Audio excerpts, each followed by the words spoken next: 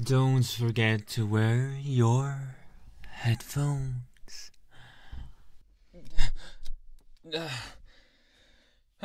Great.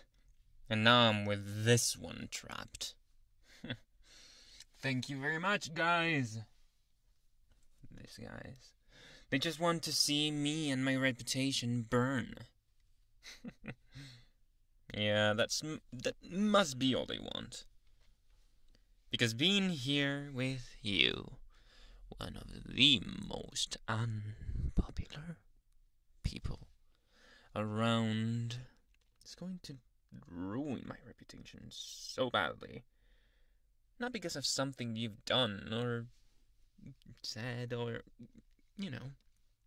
It's just because you exist in such a low standard compared to mine that um, you're just to ruin me just by osmosis, just by being there. yeah, I mean, if I could see more of your face details, I would say you're getting a bit angry. Especially because of those sounds that you're making. Yeah, like an animal. but that's the law. that is the law around here. There's nothing you or I can do to change it. You know that, right? It's not because I want to that I'm popular. I have to say it's not the worst thing in the world, but there are things that we just have to comply with. Like that I'm better than everyone in any other way.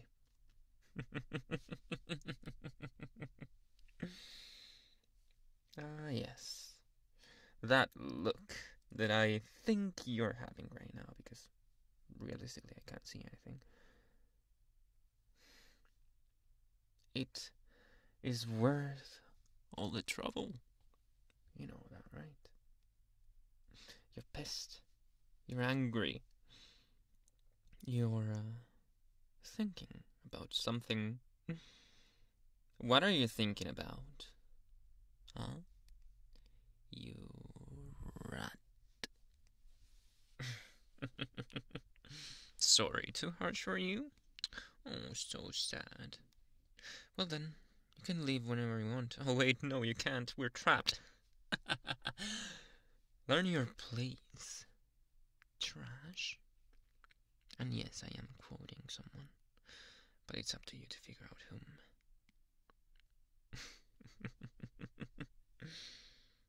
No. No, of course, I don't hate you.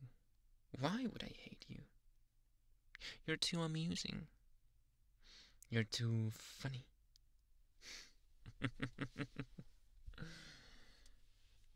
oh. You're gonna try to disarm me, unarm me. You're gonna try to unmask me? Because deep down I'm a big softy, right? Wrong. Even though I may not have chosen this destiny, I do enjoy it, as I said, and I will not allow someone like you, a nobody, to take it from me. Not even when we're here, trapped, the two of us. How naive of you to think that this is like the movies. Oh, those kids' movies that teach you that you can be anything, that everyone is a very good person. Well, guess what? Nobody is. You aren't an angel either, you know that, right? Even though you and your kind like to pretend that you are. The saving the saving traits that you project or try to project are fake. They're not true. The movies are never right. Not all losers like you are good. And not all losers become very professional, hot looking people. You know that, right? Like they like to pretend will happen. No, why would you say that? I am not hiding my own insecurities by telling you this. And even if I were, what if I did that? Would you take a rabbit out of your hat and do some magic to make me open up and talk about my feelings? Well, no. I will no do such a thing. Because that is not in me. You know what is in me, though? Preserving my status. And you're ruining my chances. Why?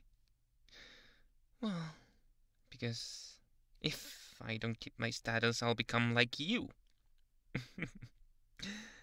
and I know that deep down, you know, no one wants to be like you. A loser. Somebody that nobody likes. I don't want to be that. I'm gonna do anything I can to not become that. Hmm. What do you mean you've already unearthed some deep feelings that I have? Explain yourself. Well, of course I have a reason for acting this way. That doesn't mean that I'm gonna be good all of a sudden. Not that you are good, anyway. huh. Well, you can try to do that. You can try to make me change sides and become the white knight this city needs, or whatever it was, the quote, you know, which movie I'm talking about. but fine. Let's do an experiment now that we're here trapped inside the closet. Let me know what you want to know about me and the way I am and the way I act. I already told you that I act like this because I don't want to end up being like you. Does that make me a worse person or better? in your books. What would be a better person? How does that look like, even? Oh, you don't even know. So sad, so lost.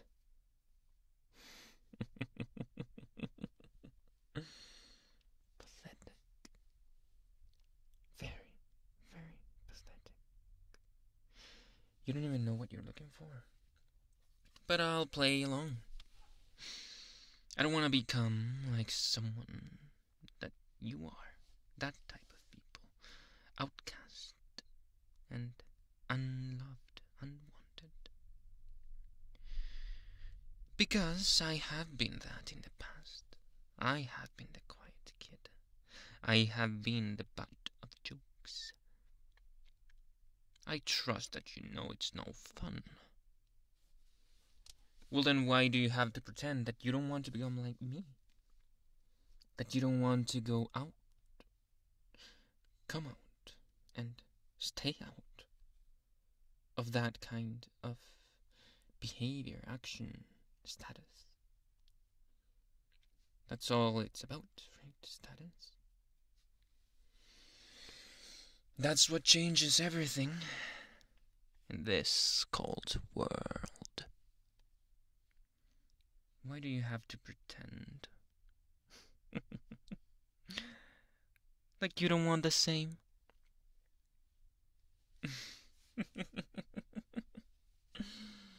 because deep down you're just as shallow as I am.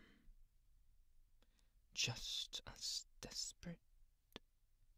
Just as imperfect. And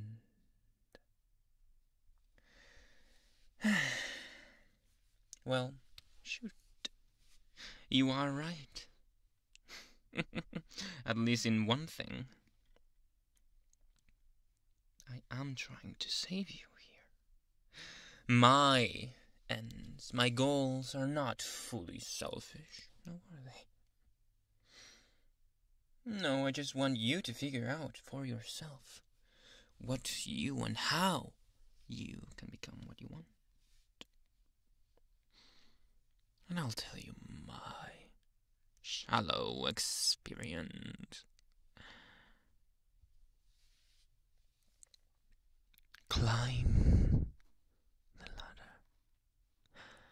I can guide you if you promise to be nice. Even though my own status will suffer for a while. Enjoying the trip sounds very nice.